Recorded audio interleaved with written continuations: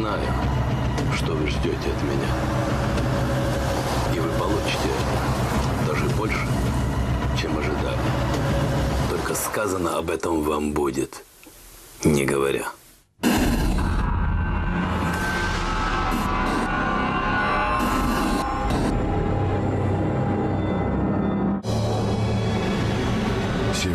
Сеансе с Кашпировским «Загадка экстрасенсов».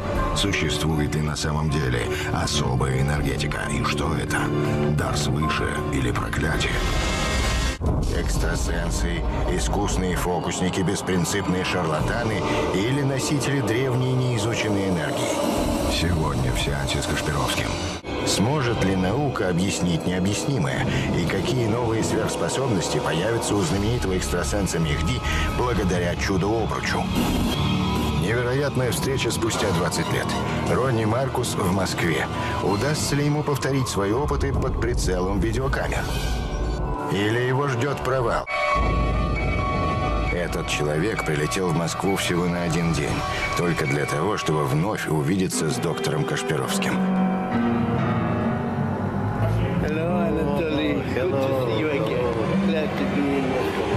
Я помню необъяснимые вещи, которые вы делали. В его руках ложки ведут себя как пластилиновые. Металл не только гнется, но и ломается, а стекло взрывается. Все это Ронни Маркус проделывал на глазах у доктора Кашпировского тогда, в Израиле. Но сможет ли он повторить то же самое сейчас, 20 лет спустя?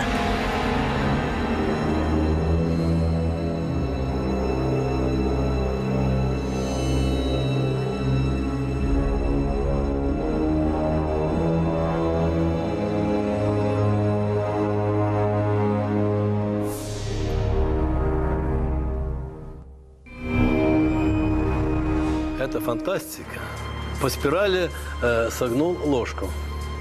Попробуй выпрямить, это вы извините, надо пла- плоскогубцы.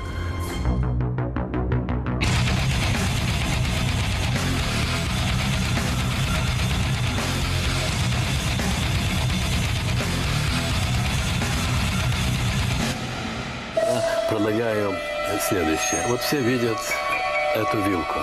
Давайте мы попробуем ее на крепость. Видите, она трудно ее согнуть. Никакого подвоха, ничего. Вот мне самому интересно, что сейчас будет. Прошу.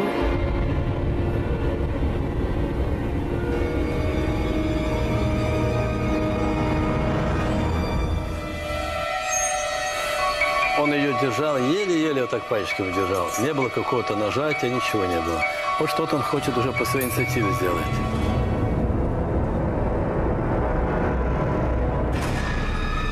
Ложками Ронни Маркус справился без видимого труда. Но у доктора Кашпировского есть задание и посложнее. Ну, обыкновенная электрическая лампочка.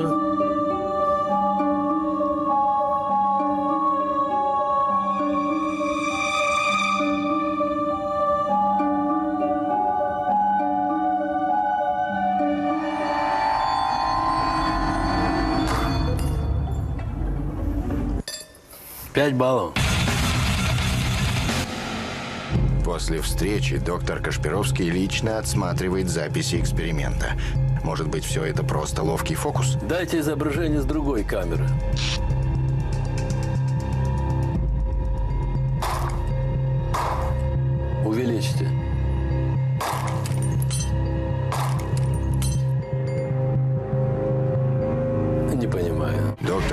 Доктор Кашпировский убедился, силой воли можно воздействовать на предметы. Но помогут ли сверхъестественные способности разгадать тайну кровавого маньяка и спасти невинного ребенка? Я себе не буду говорить. Обо мне пусть говорят люди, которые я помог, а сам нет. Экстрасенс Мехди – столичная знаменитость. Он может многое, и подтверждений тому достаточно. Благодаря ему на дне Черного моря был найден древний греческий город. Он указал место, и водолазами со дна были подняты уникальные артефакты и украшавшие древний храм шары. Но Мехди предпочитает не злоупотреблять звучным названием своей профессии. Есть э, экстрасенсы, которые самом деле много чего могут сделать, да? Но их так мало. 5-6 человек всего мира.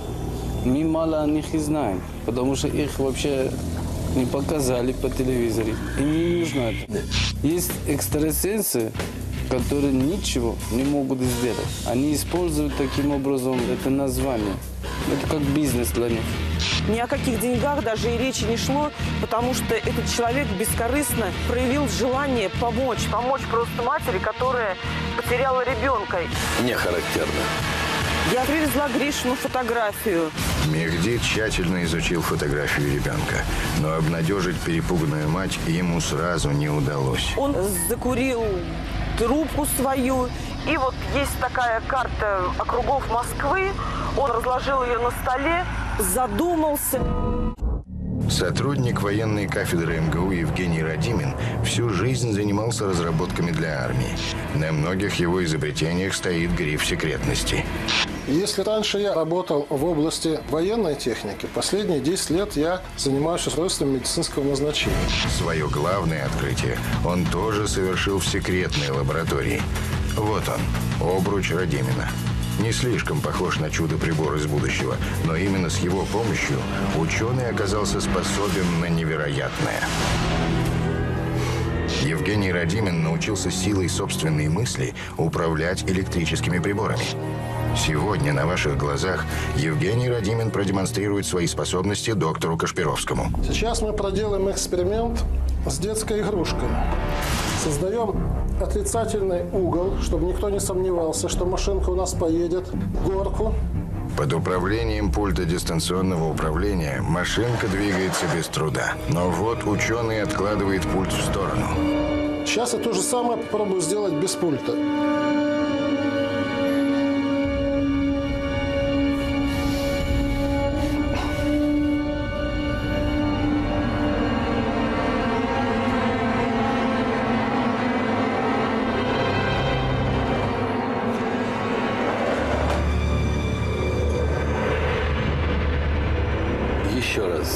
Кадр.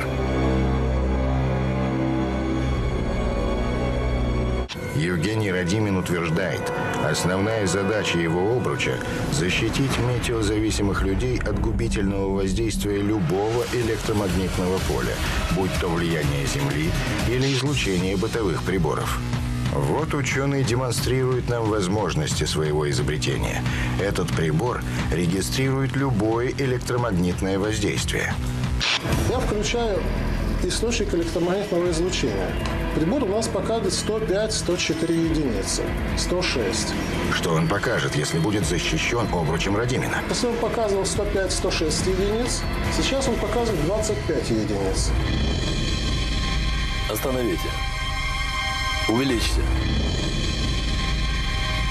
Сила напряжения электромагнитного поля упала в более чем в 4 раза. Ученый уверен, если человеческий мозг обезопасить от разрушительного воздействия внешних электромагнитных полей, его собственное поле станет мощнее. Как следствие, у каждого человека усилится его внутренняя энергетика. Да, очередная загадка природы. Однако доктор Кашпировский не удовлетворен. Он хочет проверить, действительно ли обруч Евгения Радимина может усилить экстрасенсорные способности человека. Тем более, что сам ученый задается тем же вопросом.